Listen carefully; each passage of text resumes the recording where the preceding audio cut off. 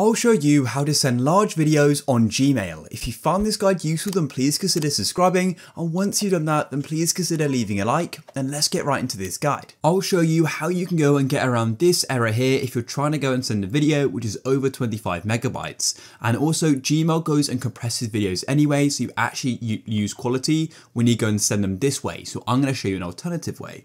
So close off the Gmail app or the Gmail website. And what you want to do is go and get the Google Drive app or go to the Google Drive website. So some phones may have it pre-installed like some Android devices, but otherwise you may need to go and open up the App Store and just go and search for Google Drive and go and open it up. So, or just go to the Google Drive website as well. And then once you're on the app, just go to the files page, and that's the same for the website as well. And then once you're on the page, go to the bottom right or the top left and click on the plus button. And then what we can do is actually go and upload this video to Google Drive and then share it from Google Drive. Because if you didn't know, Google Drive is basically uh, a storage platform and you can also go and share files on it.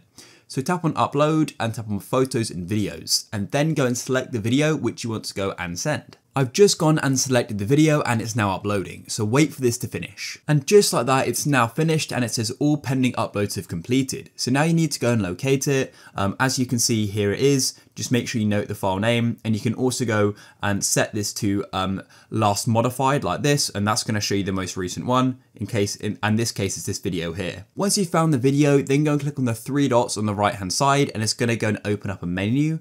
And then all you need to do is go and click on share. And you can then go and add people by their email here, but what I prefer to do is just go and create a link for the video so anybody can click on the link and go and watch it or download it. So to do that, you just click on the three dots in the top right and then click on manage access. And then where it says general access, click on restricted and press restricted again and then tap on anyone with the link.